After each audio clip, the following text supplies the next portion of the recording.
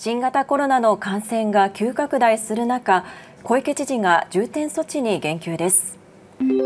小池知事は今日の定例会見でまん延防止等重点措置について基準を明確にしてほしいと国に注文をつけました。今日新たに確認された感染者は8777人で先週の木曜日と比べて5231人増え21日連続で前の週の同じ曜日を上回っています。新規感染者数の7日間平均は5875人で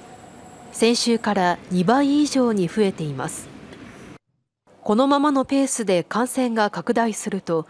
8月には1日あたりの感染者が5万5千人に迫るという試算も示されています。第7波に入ったとも考えられるということを、昨日のモニタリング会議の方で分析をしていただきました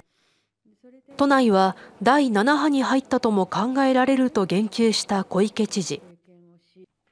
今日の定例会見で記者から重点措置の適用が視野に入るのかと問われると国が基準を明確にすべきと注文をつけましたやはりオミクロン株が今度は BA.5 に変わりつつあるというそれらの知見についてはですね特性を踏まえたあの重点措置の適用基準を国としても明確化してほしいと。その上で小池知事は重点措置については専門家の意見を聞き判断すると述べるにとどめました